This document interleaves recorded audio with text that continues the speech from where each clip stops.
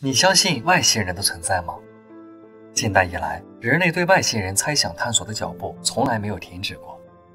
在科学界，有百分之九十九的科学家都相信有外星生命的存在，只是人类还没有发现而已。人类和外星人，谁会是最先的发现者呢？对于目前的人类来说，宇宙的广袤是我们不可及的，我们该如何才能找到他们呢？大家好，这里是大鱼奇谈。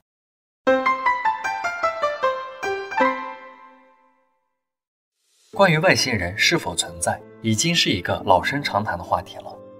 但是每次提起它，总能带给我们不同的想象。在外星探索的几十年里，科学家收到了很多宇宙信号，但很多都被认定是宇宙中天体运动所引起的。突破聆听项目于2015年成立，该项目专门负责通过搜索恒星和星系中的无线电信号和激光传输来发现外星文明的迹象。搜索范围囊括了离地球最近的一百二十三个星系，涵盖了几乎所有类型的星系，在搜索范围内达到了一百万颗恒星。在二零一九年四月到五月之间，研究小组通过澳大利亚帕克斯射电望远镜来研究比邻星发出的耀斑迹象是如何影响半人马座的其他星体。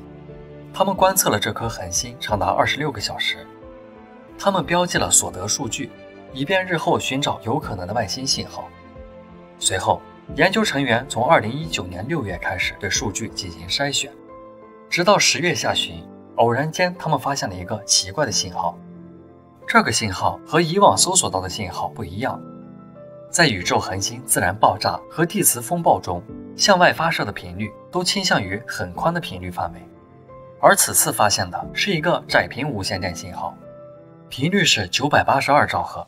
这个信号被命名为 BLC 一。一般情况下，这个频率被使用在人造卫星和航天器发射。目前，研究人员对该信号的分析已经进行了一段时间。和宇宙自然产生的电波不同，这个信号和人类之间的交流传输非常相似，并且还具有非常有特征的移动。这表明信号源正朝着或远离地球移动。例如，绕着恒星运行的行星。虽然科学家已经排除了地面干扰和卫星信号的可能，但是目前也不能完全排除它是来自于宇宙自然天体的信号。半人马座的比邻星距离太阳4.22亿光年，目前已知至少有两个行星绕恒星运行，其中一个是类地行星，它比地球大百分之十七。这颗行星被称为比邻星 B。每十一天绕恒星运转一次，比邻星 B 处于母恒星比邻星的视居带内，在这个区域温度适中。如果比邻星 B 拥有大气层的话，就可以让行星表面有液态水存在。NASA 的科学家在2017年使用计算机模拟证明，如果比邻星 B 具有类似于地球的大气层，则很容易被其母星恒星释放的强烈辐射和太阳耀斑剥离。在这种情况下，这个拥有四十亿年历史的星球，可能在一亿年之内失去了整个大气层。突破聆听项目的研究人员警告，不要尝试对信号进行任何回应。这些窄频无线电信号能被地球接收到，也许并不是偶然的。比邻星虽然是距离地球最近的系外恒星，但人类对比邻星的了解少之又少。有些科学家猜测，这些窄频信号很可能是在测试。他们的系外星系中是否有可以接收到的技术星球？这些信号的背后似乎带有一定的诱导性。来自比邻星的神秘信号是使用什么技术？我们目前无法解释。突破聆听的研究人员表示，能使用窄频无线频道，其技术至少超过了我们目前的科技水平。而如果要破解这些无线信号的内容，也必须要达到一定的科技水平。目前。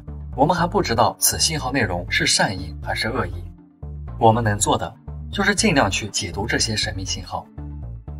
其实早在1977年8月，天文学家杰里·艾曼也搜索到一个很明显的窄频无线电信号。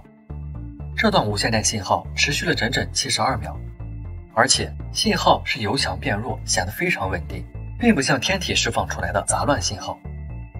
艾曼在电脑打印机的报表上记下了这个信号。并在旁边写上了“沃”。科学家们提出了可能的来源，但信号仍无法解释。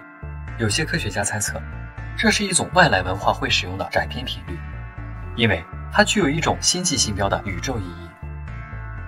虽然霍金警告过人类不要回复任何未知信号，但是在2012年，国家地理频道还是从波多隔离的阿雷西博天文台回复了消息。19世纪末，发明家尼古拉特斯拉曾表示。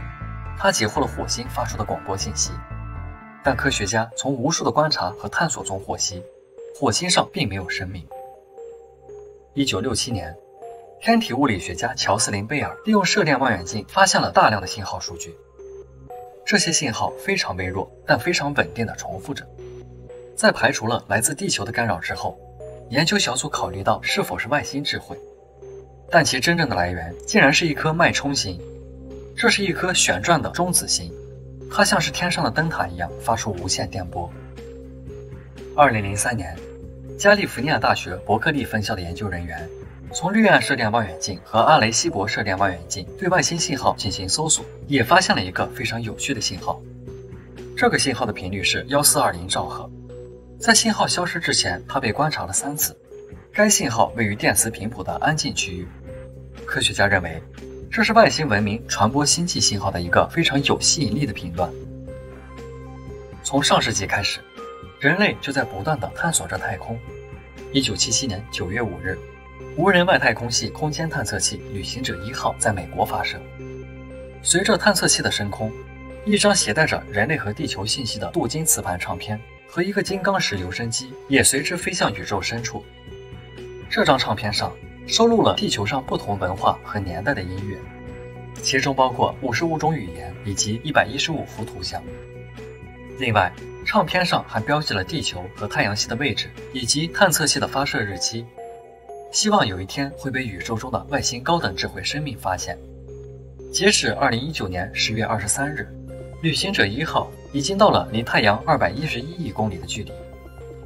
旅行者一号的速度现在为十七公里每秒。按照这样的速度，如果在没有意外的情况下，飞到距离太阳系最近的恒星比邻星，需要七点四万年之久。